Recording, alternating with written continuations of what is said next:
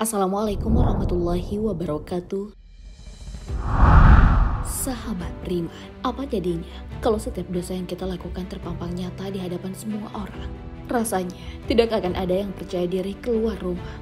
Untung saja, semua itu hanya ditampilkan di padang masyar. Di sana, orang-orang yang berdosa akan kita jumpai dengan keadaan yang benar-benar mengerikan. Lalu seperti apakah wajah-wajah mereka di padang masyar nanti? Tonton video ini hingga akhir agar tidak sesat. Padang mahsyar menjadi tempat dikumpulkannya manusia setelah dibangkitkan dari kubur. Kita akan berkumpul dalam keadaan yang sama, sama-sama tidak menggunakan satu helai benang pun. Manusia akan dikumpulkan pada hari kiamat dalam keadaan tidak beralas kaki, tidak berpakaian dan belum dikhitan. Hadis riwayat Muslim. Yang membedakan adalah wajah dan kondisi tubuh kita saat itu. Semuanya tergantung apa yang kita lakukan selama hidup di dunia. Yang mengerikan adalah para pelaku maksiat yang memiliki penampilan sama sekali berbeda saat ia hidup di dunia. Rasulullah Shallallahu Alaihi Wasallam telah menceritakannya kepada Muaz bin Jabal radhiyallahu anhu. Yang pertama, berwajah monyet. Keadaan para tukang fitnah di padang masyar ternyata sangatlah buruk. Mereka akan memiliki wajah seperti monyet. Ada yang diserupakan wajahnya seperti monyet. Mereka adalah orang-orang yang ketika di dunia suka menyebarkan fitnah di antara manusia. Bagi orang-orang yang mendedikasikan dirinya sebagai tukang fitnah di dunia, mereka telah dijanjikan neraka jahanam sebagai tempat kembali. Sesungguhnya, orang-orang yang mendatangkan fitnah kepada orang-orang beriman, baik laki-laki maupun perempuan, kemudian mereka tidak bertaubat, maka bagi mereka azab jahanam dan bagi mereka asap neraka yang membakar. Al-Quran Surah Al-Buruj ayat 10 Kamu mungkin masih ingat ikon tukang fitnah dalam sejarah Islam. Ia adalah istri Abu Lahab, Ummu Jamil. Tahu sendiri kan bagaimana nasibnya? Dia dimasukkan ke dalam neraka bersama suaminya. Tidak mau kan menjadi the next Ummu Jamil? Selain berwajah monyet, ada juga manusia-manusia yang akan diserupakan seperti babi. Ada yang diserupakan seperti babi. Yang serupa babi adalah orang suka makan harta haram dan merampas hak orang lain. Mereka adalah orang-orang yang zolim terhadap orang lain, suka mengambil yang bukan miliknya, semacam koruptor yang nyolong duit rakyat. Bahkan ada yang pamer di medsos dengan bangganya. Padahal, kelakuan seperti itu dilarang keras dan sudah memperingatkan Allah Subhanahu wa Ta'ala.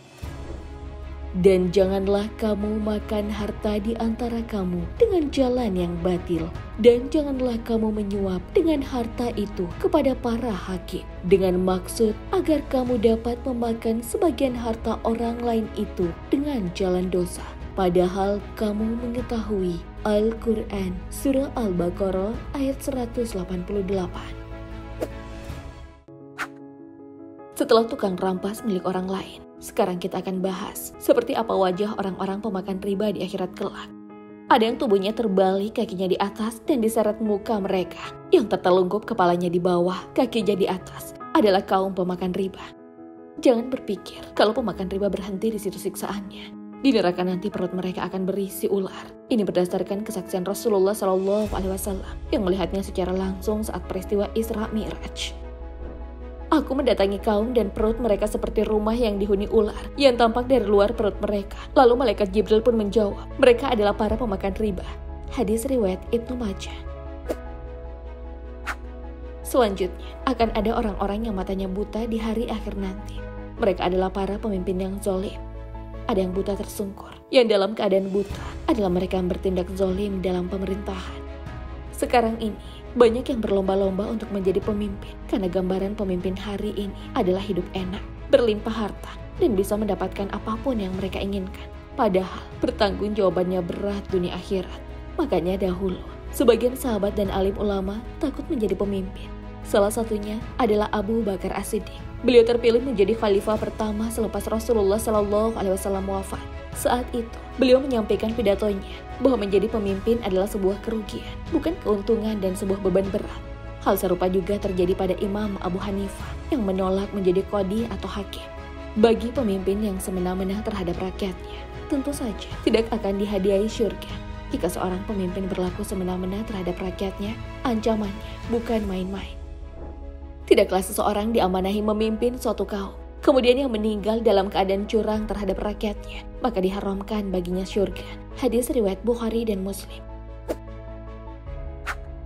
Hei, saya yang mewakafkan ribuan hektar tanah untuk umat. Kamu tak tahu siapa saya? Kok kamu gak tahu saya? Saya ini yang nyumbang buat masjid ini loh. Ada yang pernah dengar atau baca kalimat-kalimat itu? Orang-orang seperti inilah yang dibenci oleh Allah Subhanahu wa taala karena sombong dengan amalan-amalan yang telah dilakukannya. Padahal asal mereka tahu kalau orang-orang seperti mereka ini akan mengalami hal mengerikan di akhirat kelak. Ada yang bisu tulih dan tidak berakal. Yang buta tuli ialah orang yang suka ujub, bangga dan sombong dengan amalannya. Lanjut, ada manusia yang begitu mengenaskan nantinya. Lidahnya menjulur ke bawah, bahkan mereka sampai mengunyah-ngunyah lidahnya sendiri. Mereka adalah orang-orang yang memberikan nasihat baik kepada orang lain, tapi dia sendiri tidak melakukannya. Atau istilahnya, lain di mulut lain yang dikerjakan.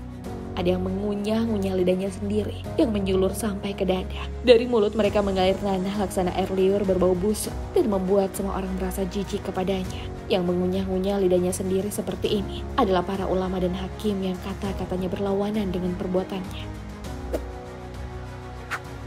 Kemudian, bagi orang-orang suka mengadukan berita bohong kepada penguasa, siap-siap saja di padang masyar akan disalib.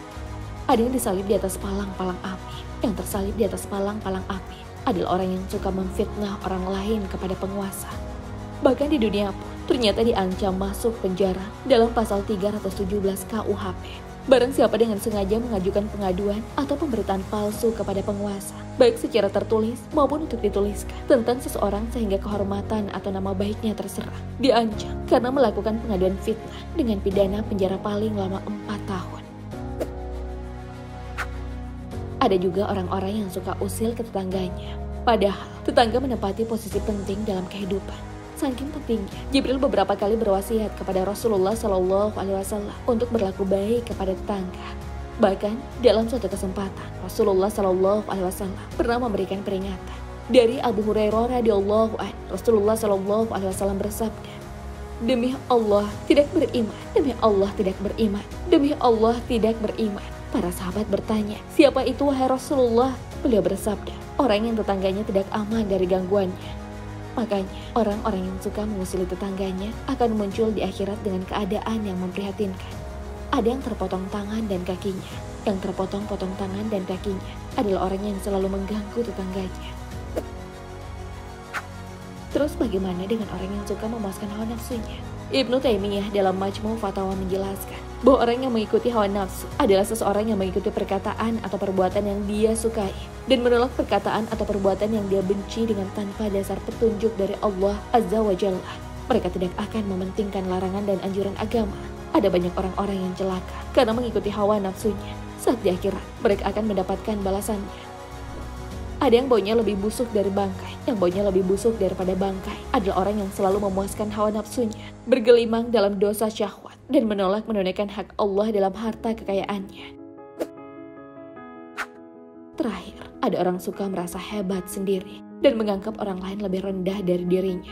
Mereka-mereka inilah yang akan kepanasan, bahkan meleleh di akhirat kelak. Ada yang memakai baju-baju panjang terbuat dari timah meleleh. Mereka adalah orang yang selalu takabur, suka bermegah dan memuji diri. Sahabat beriman, Rasulullah Shallallahu Alaihi Wasallam telah memberikan spoiler keadaan manusia-manusia pendosa di akhirat kelak. Hendaknya dengan mengetahui itu semua, kita menjauhkan diri dari hal-hal maksiat. Sebab semua kemaksiatan itu hanya akan merugikan diri sendiri. Semuanya akan ditampilkan di akhirat kelak dan akan mendapat balasan. Wallahu a'lam bishawab. Wassalamualaikum warahmatullahi wabarakatuh.